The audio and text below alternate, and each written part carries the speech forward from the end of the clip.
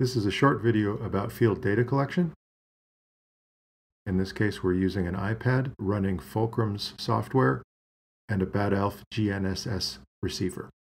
By pairing a GPS or GNSS receiver with your iOS or Android mobile device, you can take advantage of the GPS accuracy of the receiver and the data collection capabilities of your mobile device. Fulcrum has a web interface that you can use to build data collection applications and also to review and edit your data. We'll start by looking at the web interface of a simple hydrant data collection application, and then we'll use that same application to do some field data collection. So what we're looking at here is the designer portion of Fulcrum's web interface for the app that I've built for hydrant data collection. What you see on the left-hand side are the basic kinds of fields that you can use. And on the right-hand side, you can see the configured app that I've already created under layout. Uh, each of these different fields uh, are essentially drag and drop.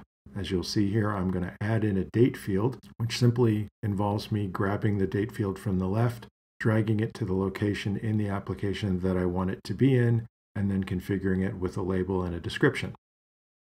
You'll notice there are a variety of different kinds of fields that are available, text, numeric, yes, no, dates, single and multiple choice fields, fields that will do calculations.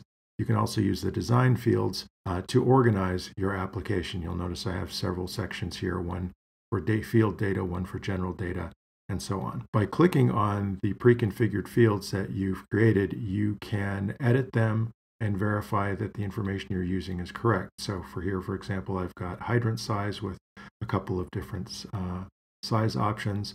I noticed I didn't put in a description for serial number, so I'm going back and filling that in.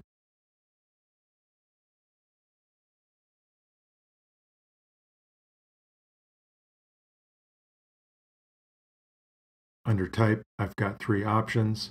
I'm making this a required field because I want to make sure that data gets collected in the field. You can also preview an application that you've built via the web interface by clicking on the Preview App button that will show you the basic layout uh, that a mobile user will see in terms of the order that fields are going to be listed in and whether they will be visible or not. For example, you could create an application and hide the office data because that won't be actually used in the field.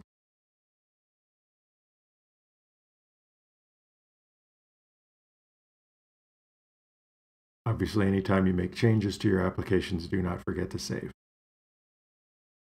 So let's use this app to go actually collect some data. So I've got my GNSS receiver here, which I've placed on top of the hydrant.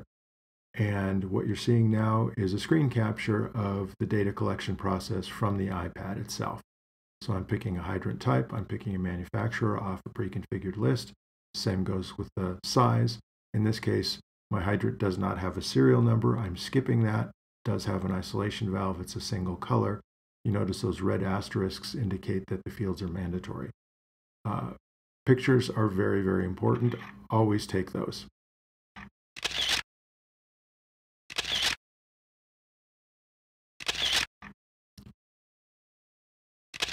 In this case, I've actually taken a picture of the GNSS receiver as well.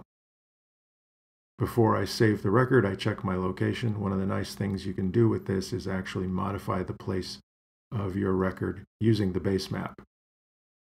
There's actually an Android interface for this I mentioned. This is essentially the same uh, data collection application, but uh, you'll see that the, the layout and the interface is slightly different because of the different operating systems.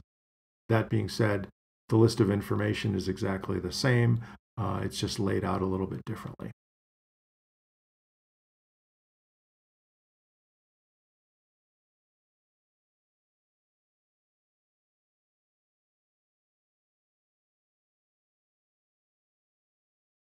And in this case, we're changing the field data status to complete.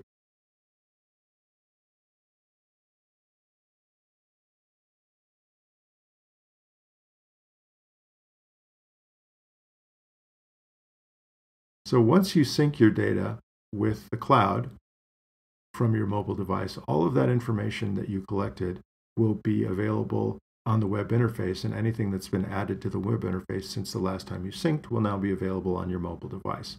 So we're going to view some of the records that we've collected. These uh, little pink dots uh, represent hydrants uh, that we've collected in and around the UNM campus area. I have a, couple of options in terms of how to look at them. I can look at uh, just the data. I can look at a combination of the data and the map. I can also filter each of these uh, various conditions. So for example, if I just want to see my Mueller hydrants, I can click on that and it will reduce the list of those. And if I go back to my map and look at them, the only thing that will be shown are the Mueller hydrants. You'll notice I have a somewhat busy base map back here. I'm going to change that for ease of use to a simple street map, kind of like a Google map, which clears away some of the clutter and makes the points a little bit more visible. So you can see a few of them scattered around. I'm looking at records that are in this field. Uh, there are about 31 total. Uh, it's showing me the records below that it can see in the map. So if I zoom out on my map, you'll see the records below get populated to, to reference everything that's currently in the visual frame of the map. I can do a quick view of the data related to any record, uh, which will essentially give me a short form layout with all of the information. I can also click on the picture and it will bring me to a more detailed picture relating to the image itself, which not only shows me the picture, but where I took it and some metadata about the image. Now, obviously, once the information's up there, I'll probably want to download that. I've got a lot of options, CSV, Excel, Esri shape files. Uh, I can download either the filtered or the unfiltered data from here.